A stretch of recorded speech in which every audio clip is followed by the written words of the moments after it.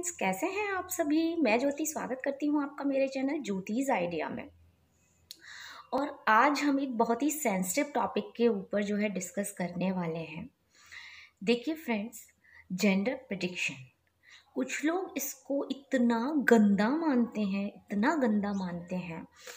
आप यकीन मानिए कि मैंने एक ग्रुप ज्वाइन कर रखा है, वहाँ अगर गलती से भी कोई ऐसी पोस्ट डाल देता है तो वहाँ के लोग नहीं लड़का लड़की जो है एक ही जगह के हैं लड़का लड़की सेम होते हैं, बच्चा तो बच्चा होता है। यार, इन सब बातों का क्या मतलब है? आप अपने थॉट अपने पास रखिए। पहली बात, देखिए जेंडर प्रेडिक्शन पहले समय में ऐसा कोई कानून नहीं बना था कि आपको लिंग परीक्षण करना जो है कानूनी अपराध है, क्योंकि ऐसा क्राइम नहीं होता था। ठीक है? लेकिन आज से थोड़े टाइम पीछे देखें तो लोग क्या करते थे कि जेंडर प्रेडिक्शन को जो है गलत तरीके से यूज़ करने लगे। वो बच्चे का जो लिंग है, उसको पता कर लेते और अगर गर्भ में बेटी होती थी, है ना तो उसको मार दिया करते थे, है ना। लेकिन क्या कभी आपने सुना कि किसी लड़के को कचरे के ढेर में पड़ा हुआ मिला है? नहीं। जब सबको लड़का चाहिए तो लड़की भी किसी ना किसी को चाहिए फ्रेंड है ना। तो आज मैं आपको बताने वाली हूँ, इसी सब बातों से रिलेटेड हम डिस्कस करने वाले हैं। देखिए फ्रेंड जेंडर प्रडिक्शन कोई गलत चीज़ नहीं है। जेंडर प्रडिक्शन बिल्कुल भी गलत नहीं है। गलत वो है कि आप पता लगाने के बाद उस बच्चे को एक्सेप्ट नहीं कर रहे हो। वो गलत है फ्रेंड उस चीज़ को मैं भी गलत मानती हूँ। लेकिन लोग जेंडर प्रडिक्शन पे इतने सवाल उठाते हैं, वो गलत नहीं है। मैं फिर कह रही हूँ। और लेकिन यह भी सच्चाई है कि अगर हम्म, सरकार हम्म। आज भी यह जो है जो कानून इसके लिए बनाया है अगर इसे हटा देती है तो वापस से लड़कियों के मरने की संख्या ज़्यादा हो जाएगी। ठीक है? ये है एक पहलू। दूसरा पहलू यह है कि जेंडर प्रेडिक्शन जो होता है, वो एक माँ की उम्मीद होती है।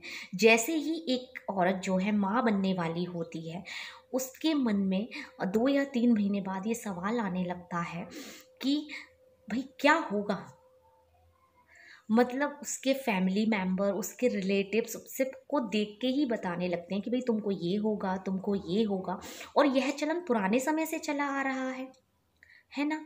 अनुमान लगाते हैं सभी है ना? तो इसमें कोई गलत चीज़ नहीं है दोस्तों। मैं आपसे ये कहना चाहती हूँ कि जेंडर प्रडिक्शन एक माँ की उम्मीद होती है। मैं आप, आपको अपना एक एग्ज़ाम्पल देती हूँ कि मुझे जेंडर प्रडिक्शन में इतना इंटरेस्ट क्यों था। गलत मैं नहीं थी लेकिन मेरे अंदर क्वेरिसिटी थी ये जानने की कि क्या होगा और इवन मैं तो यह सोचती थी कि अगर मुझे, मैंने जो सोचा है, अगर वही होता है इट्स मीन मैं बहुत हैप्पी हो जाऊँगी। मेरा जो गैस है, वो मतलब बिल्कुल करेक्ट माना जाएगा। और जस्ट फॉर फन के लिए मैं उसको देखना चाहती थी, क्योंकि मेरे पास एक बेबी बॉय पहले से था।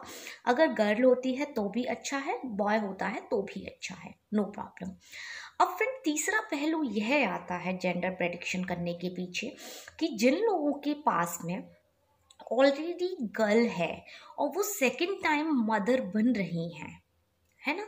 तो उनको उम्मीद रहती है कि यार एक लड़का हो जाए तो बहुत अच्छा है। और उनका सोचना गलत भी नहीं है। मैं उन मॉम को सपोर्ट करती हूँ कि जिनके पास एक मतलब लड़की है, पहले से उन्हें लड़के की डिमांड है और जिनके लड़का है, उनको लड़की की डिमांड है तो ये चीज़ सोचना कोई गलत नहीं है और यही उनकी जो आवश्यकता है, वो उनके अंदर ये जेंडर प्रेडिक्शन के लिए उनकी क्वेरिसिटी को बढ़ा देती है तो क्या ये गलत है फ्रेंड नो no. बिल्कुल गलत नहीं है मेरी नज़र में और जो लोग इसको गलत मानते हैं, मैं उन लोगों की सोच को गलत मानती हूँ मैंने आपको क्लियर कर दिया कि गलत है जेंडर का पता लगा के उस बेबी को एक्सेप्ट नहीं करना। आप मुझे बताइए, क्या एक माँ अपने दोनों बच्चों में फ़र्क कर सकती है? वो वो मायने नहीं रखता कि उसको लड़का हुआ है या लड़की हुई है। मायने ये रखता है फ्रेंड कि उसके पास बच्चा है। लेकिन समाज की बातों को ध्यान में रखते हुए, समाज के नियम को ध्यान में रखते हुए लोग यही चाहते हैं कि भाई पहले हमको एक लड़का हो जाए देन अदर लड़की हो जाए, कोई प्रॉब्लम नहीं है। अब उस माँ पे क्या गुजरेगी, जिसके एक बार लड़की हो गई, दो बार लड़की हो गई, तीन बार लड़की हो गई, फिर भी वो फोर्थ टाइम ट्राई कर रही है। वो जेंडर प्रडिक्शन करेगी ऑब्वियसली बात है कि करेगी।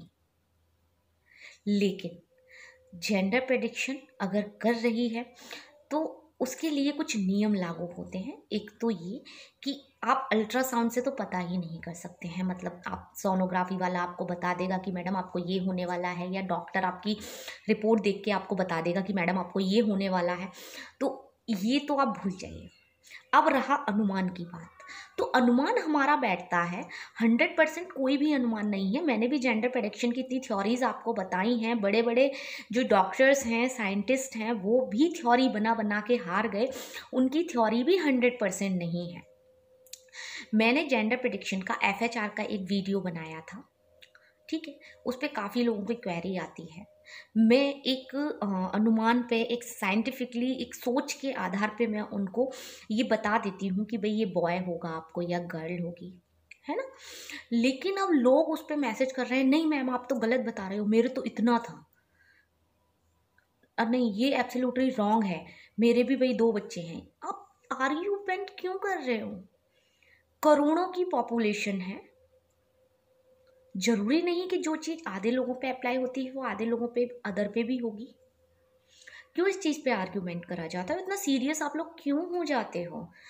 और अगर आपको किसी की चीज़ इतनी मतलब ऐसे ऐसे भी लोग हैं जो दूसरे की वीडियोस पे सिर्फ़, जिनको बच्चे से लेना देना ही नहीं है, जो प्रेग्नेंट भी नहीं है इवन सिर्फ़ कंफर्म करने आते हैं कि भाई ये सही बता रहे हैं या नहीं। अब देख लीजिए आप। क्या कभी आपके पेट को देख के किसी ने बोला था कि भाई आपको बेटा होगा? है ना? और अचानक आपको बेटी हो गई तो क्या आपने जान ले ली उस कहने वाले की? बताइए आप मुझे। नहीं ना?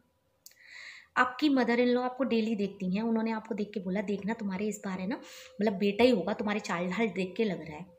सपोज़ आपको बेटी हो गई तो क्या आपने उनसे दुश्मनी बना ली?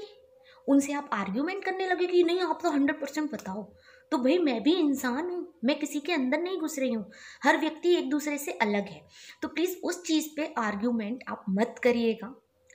मैं सिर्फ़ आपसे ये कह रही हूँ कि जो लोग जेंडर प्रडिक्शन की वीडियोस पे जा जाके तुमको तो मतलब मेरी वीडियो पे ऐसा कमेंट आज दिन तक नहीं आया, क्योंकि मैं सिर्फ़ उनको थ्योरी बताती हूँ, दावा मैं नहीं करती हूँ, लेकिन अदर वीडियोस पे मैंने ये कमेंट्स काफ़ी पढ़े हैं कि तुमको तो लड़का लड़की के अलावा कुछ सूझता ही नहीं है, ये भी कोई टॉपिक है क्या वीडियो बनाने का?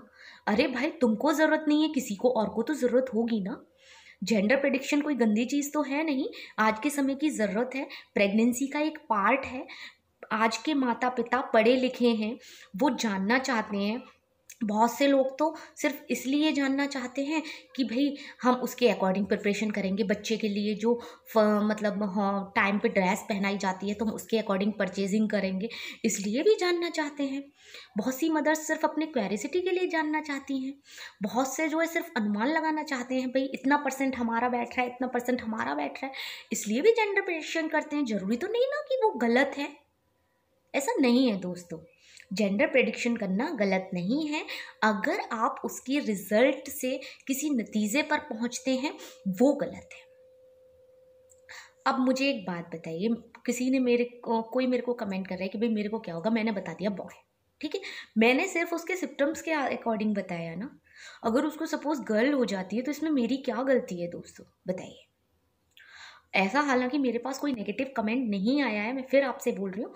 लेकिन मैंने काफ़ी लोगों को देखा है, मैंने बताया ना, मैंने एक फेसबुक ग्रुप ज्वाइन कर रखा है, वहाँ एक मम्मी ने जो है फ़ोटो डाल रखा था अपना कि बेबी बम्प को लेके, कि आप देख के बता सकते हो कि लड़का होगा या लड़की होगा। लोग अनाप शनाप उस फेसबुक पे कमेंट किए जा रहे हैं कि लड़का लड़की दोनों भगवान के होते हैं, तुम तुम तो माँ बनने के लायक ही नहीं हो, तुम तो लड़का लड़की में फ़र्क करती हो, क्या फ़र्क पड़ता है तुमको? यार, इतने आदर्शवादी विचार।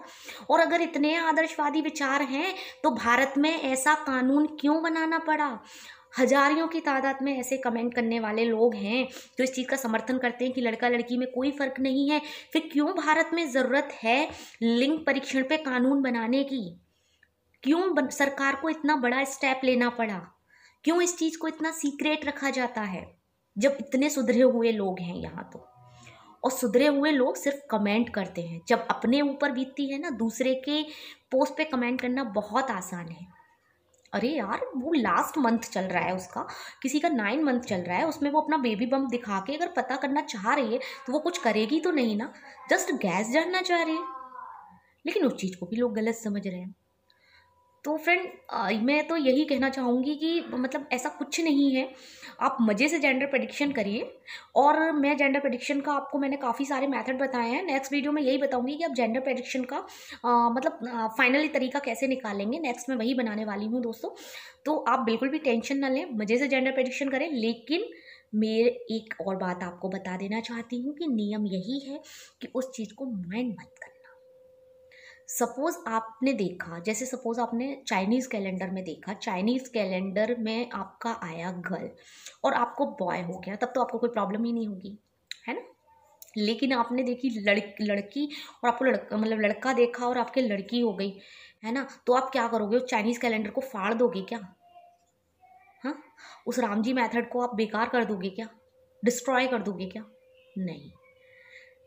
कुछ चीज़ें मैं अपनी हर वीडियो में बोलती हूँ और आज भी यही बोलूँगी कि नब्बे परसेंट कुछ भी हो सकता है, लेकिन दस परसेंट उसके हाथ में भी छोड़ दीजिए। वो आपको जो देगा, वो बहुत अच्छा होगा आपके लिए। क्योंकि इंसान तो सिर्फ़ अपनी इच्छाओं में बोलता है और पहले जिस चीज़ को माँगता है और उसी चीज़ से बाद में पछताता भी है। क्योंकि मैंने खुद अपना ये एग्ज़ाम्पल देखा है कि मैंने जिस जिस चीज़ को मांगा है ना, मैं उस चीज़ से बहुत जल्दी बोर हो जाती हूँ। मैं कहती हूँ कि नहीं यार, कुछ चीज़ें भगवान के ऊपर छोड़ दो। ये मेरा अपना पर्सनल एक्सपीरियंस कहता है। लास्ट में हम भगवान से मांगते भी हैं और लास्ट में कहते हैं, भगवान, आपने दिया ही क्यों? बताओ। अब बताओ, भगवान भी बेचारे कन्फ्यूज़ हैं। तो फ्रेंड मज़े से जेंडर प्रडिक्शन करिए और कोई भी अगर क्वेश्चन होता है तो प्लीज़ मुझे कमेंट बॉक्स में कमेंट करिए। और अगर आपको मेरी बातें सही लगी हों तो मेरे वीडियो पे एक लाइक तो ज़रूर छोड़ देना। ठीक है? और सब्सक्राइब जिन लोगों ने कर रखा है, उनका बहुत बहुत मैं धन्यवाद कहना चाहूँगी। और जो लोग नए हैं, वो भी मेरे चैनल को सब्सक्राइब कर लीजिएगा। Thank you friends